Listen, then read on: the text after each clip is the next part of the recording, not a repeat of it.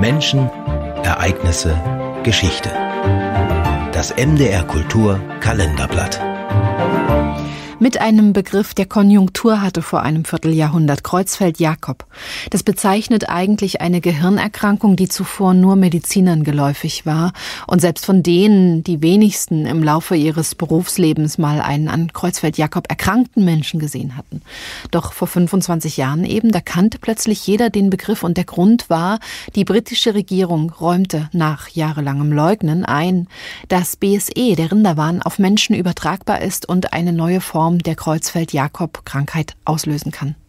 Ein Kalenderblatt von Hartmut Schade, gesprochen von Conny Wolter, guckt auf die Ereignisse und Debatten damals. Rinderwahn, bedenke, wenn das Rind sich rächt. Solange es nur die Rinder waren, die Rinderwahn hatten, war alles okay.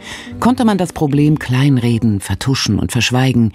Doch dann sterben auffällig oft junge Leute an Kreuzfeld-Jakob. Ihr Gehirn gleicht denen der Mad Cows, ist löchrig wie ein Schwamm.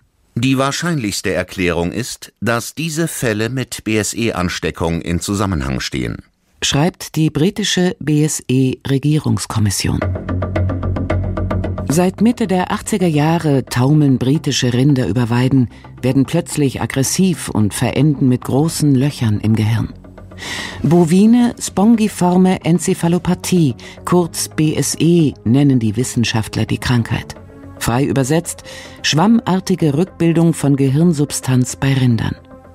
Das Phänomen der löchrigen Hirne kennt man bis dahin nur von Schafen, wo die Krankheit Scrapie genannt wird. Falls es sich tatsächlich um eine Form von Rinderscrapie handelt, hätte das verheerende Folgen, auch für den Menschen.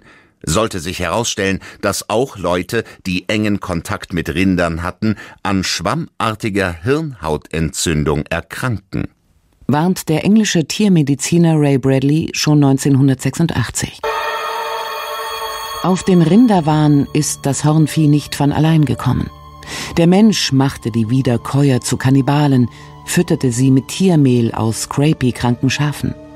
Scrapie wie BSE werden durch Prione, falsch gefaltete Eiweiße übertragen. Solche deformierten Eiweiße lösen auch die Nervenkrankheit Kreuzfeld-Jakob bei Menschen aus. Aber auch Katzen, Antilopen, Pumas und Nerze sterben nach der Fütterung mit Tiermehl. Damit ist klar, den Prionen gelingt es, die Artenschranke zu überspringen. Trotzdem wird britisches Rindfleisch weiterhin in die ganze EU exportiert. Wer nach 1985 britische Wurst oder Pasteten gegessen hat, ist unfreiwillig zum Versuchskaninchen in einem der größten Menschenexperimente der Medizingeschichte geworden. Schreibt der Spiegel im März 1996, nachdem klar ist, die Prionen infizieren auch den Menschen.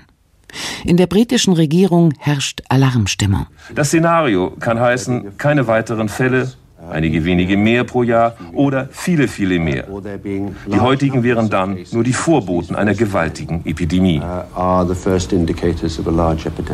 Erklärt John Pattison, Vorsitzender der englischen BSE-Kommission. Zahlen von 10 Millionen Kreuzfeld-Jakob-Toten bis 2010 machen die Runde.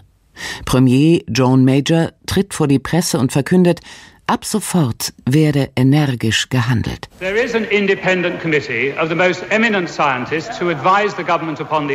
Es gibt eine unabhängige Kommission, bestehend aus den fähigsten Wissenschaftlern. Die Regierung wird deren Ratschlägen ohne Wenn und Aber folgen. Wir akzeptieren die Ratschläge und veröffentlichen sie. Die Tiermehlfütterung an Wiederkäuer wird verboten. Zehntausende Rinder auf Verdacht getötet. Die Epidemie bleibt aus. Trotzdem sind knapp 500 Menschen in Großbritannien an der neuen Form der Kreuzfeld-Jakob-Krankheit gestorben.